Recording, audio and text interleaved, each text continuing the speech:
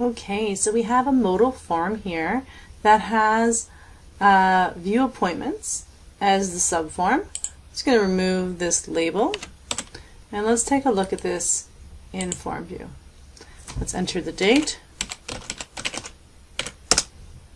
and then we can see the report of the appointments for that day. Now we can't click anywhere outside of this modal dialog box. We must use these two buttons here. So click OK, click Yes to save changes, and it closes automatically. Now we're going to add a command button to our new appointment form that links to our View Daily Appointments modal form. So let's go right into Design View and click on our button. We're looking for Form Operations to open a form and we're looking for Form Daily Appointments we're going to use the ampersand hotkey, view appointments, click next, and again we'll call this view appointments.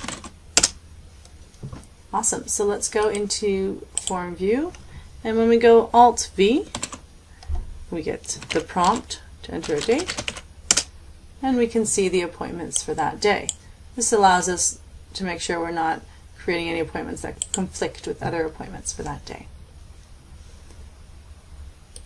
Save your work. We'll see you next time.